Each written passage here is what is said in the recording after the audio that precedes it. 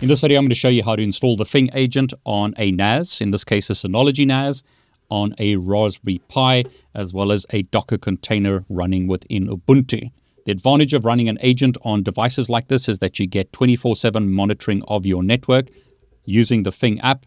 So rather than trying to scan for devices using your phone and running the app 24 7 on your phone, monitoring your network, you get monitoring with an agent. It's very unlikely that you're going to leave your phone running the app 24 7 on your home network. You're probably going to be taking your phone when you leave your home. So this allows you to get 24 7 monitoring on various devices and you can get notifications on your phone. That also allows you to block rogue devices from accessing your network. So you get network monitoring. You know which devices are running in your network. You can authorize that only certain devices can access your network. You can automatically block new devices from accessing your network. So you have various options. You can, by default, allow devices to access your network and then manually go and block them or you can automatically block unauthorized or rogue devices from accessing your network and only allow specific devices from accessing the network. So deny all devices by default and then only permit certain devices from accessing your network. This is a fantastic use case and project if you've got a Raspberry Pi lying around. So rather than leaving the Raspberry Pi in your drawer doing nothing, why not install the Fing agent on the Raspberry Pi and get it to monitor your home network as an example. If you've got a NAS at home, why not use a Docker container on the NAS to monitor your network? And if you have a server running various virtual machines, why not run Docker on one of those VMs to monitor your home network and give you better network visibility as well as network security by only allowing certain devices to connect to your network. So again, in this video, I'll show you how to install the agents on a NAS as well as a Raspberry Pi and Docker container.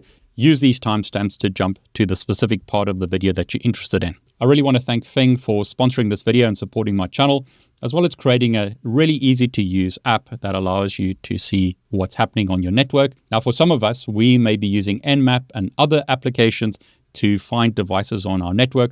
But what about your mother or other family members that expect you to help them with their networks? This allows you to improve the security on their networks as well as get visibility of what is happening on their networks. Now, Fing has documentation showing you how to install the Fing agent on a NAS. Prerequisites include that you need the Docker Manager or Docker container available on your NAS operating system, such as QTS for QNAP and DSM for Synology. And then they give you links to show you how to do that, but I'm going to show you that right now. You also need an active internet connection. So you can have a look at the documentation, but I'm going to show you how to do this very, very easily directly on this NAS. So first thing I'm going to do is go to the package center and I'm going to search for Docker and press enter. You need to install the container manager. So I'm going to click install to install that. That's now being downloaded and installed. And you can see it's now running. So I'm going to search for the app and basically search for Docker and run the container manager. And there you go. You can see that no services have been created. Under registry, you need to search for the Fing app. So I'm going to search for Fing and you can see the Fing or Fing agent offers device monitoring, real-time alerts, and enhanced network security.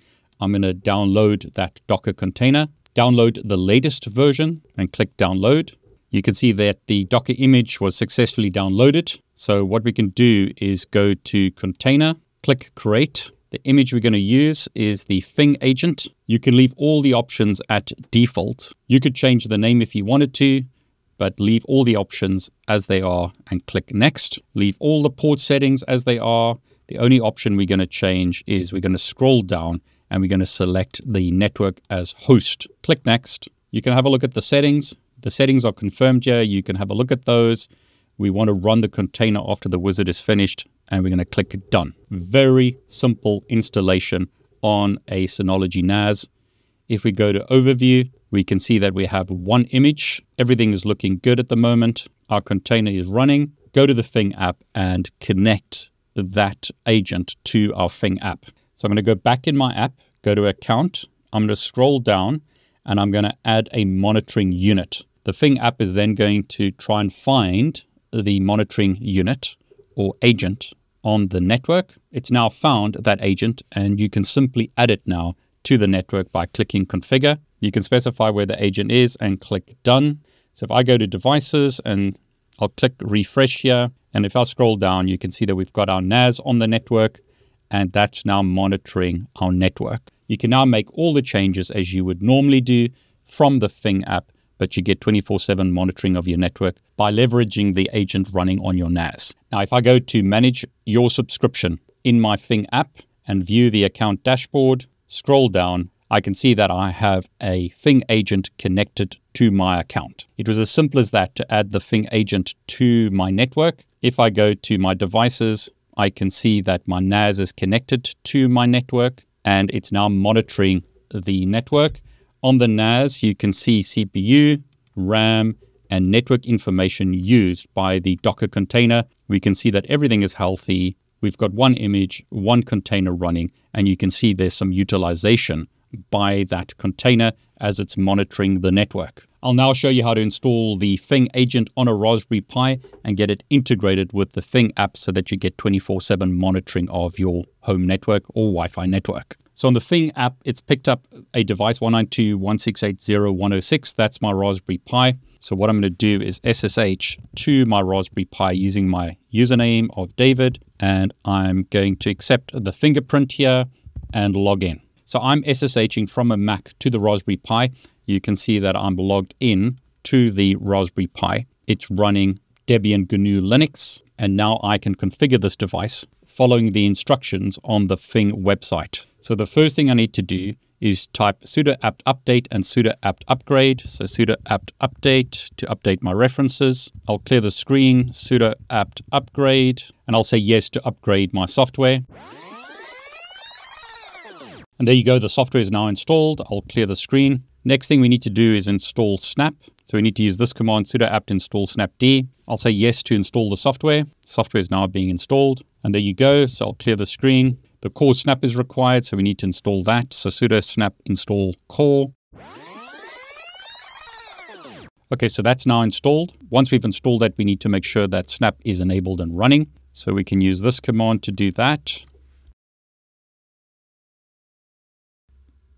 And we can see that snap, in my example, 2671 from Canonical has been installed. Okay, so once we've installed the prerequisites, we can install the Fing agent by using this command. So sudo snap install Fing agent. And there you go, the Fing agent is now installed. Once we've installed the agent, we need to run a script to connect all necessary plugs to interfaces. So we need to use this command. So I'll copy that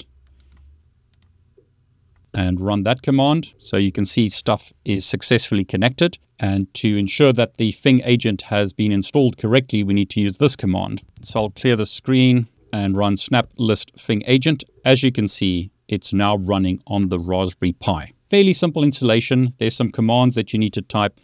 They're all available on the Fing website. There are commands with regards to updating the Fing agent as well as troubleshooting if you require those but again, a fairly simple installation. Okay, so once again, the Fing agent is running on my Raspberry Pi. So what I can do now is connect it using the app on my phone. So on my phone, I'm going to go to my account and I'm going to scroll down and add a monitoring unit.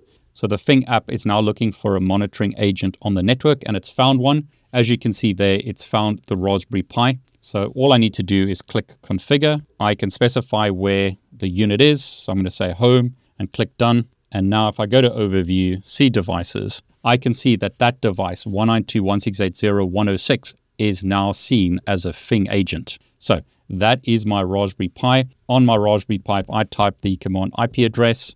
You can see the IP address is 192.168.0.106, and that is the device showing up as an agent on my phone.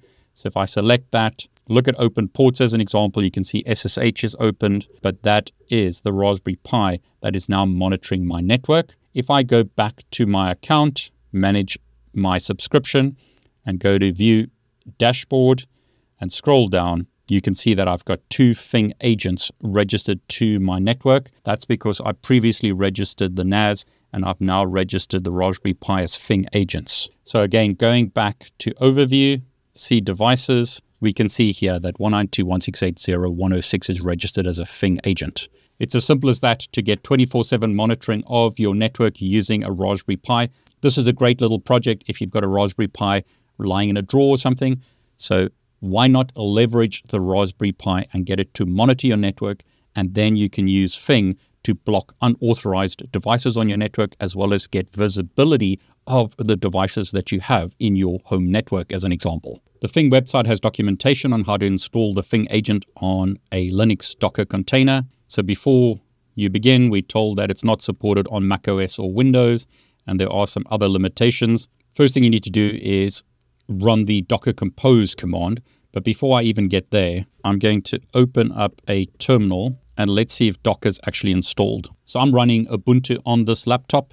If I type Docker, notice we're told that it's not installed. So we can use this command to install Docker on this Ubuntu VM. So I'll press enter. Docker is now being installed. And there you go, Docker is now installed. So if I type Docker, we can see that we get help information and I'll clear the screen. So the first step, once again, is verify that you can execute Docker Compose definitions by running the following command, Docker Compose for recent versions of Docker or Docker-Compose for older versions of Docker. So the command again is Docker Compose. I'll press enter. That works.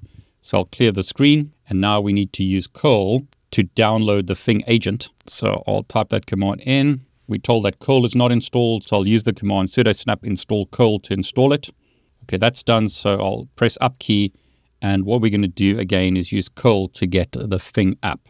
So I'll press enter now. That's now downloaded. And then I'm going to use the command docker compose up d to install the Docker container. So docker compose up dash d. Okay, we need to use sudo here. So sudo docker compose up. As you can see now, it's pulling the Docker container, it's downloading it, and there you go.